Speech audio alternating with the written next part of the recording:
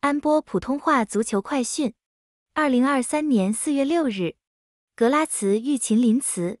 周五凌晨，奥地利杯准决赛再战一场，届时格拉茨将坐镇主场迎接林茨的挑战。格拉茨近期豪取各项赛事五连胜佳绩，球队状态如日中天，再加上主场优势，格拉茨今仗一定会乘胜追击。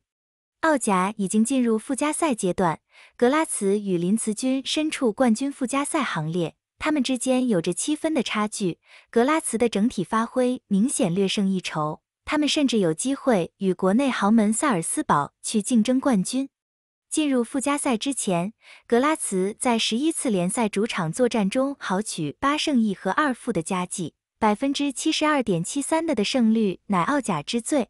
阵中得分手艾美加等人都较为擅长主场杀敌，他们是球队主场抢分的重要保证。此外，格拉茨队内十多位球员在经济奥甲中都曾建功立业过，他们在进攻端呈现多点开花的模式。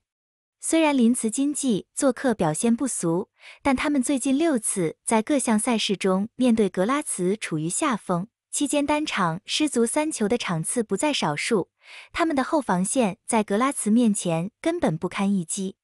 再加上对手正处于连胜之中，反观几队近况则飘忽不定。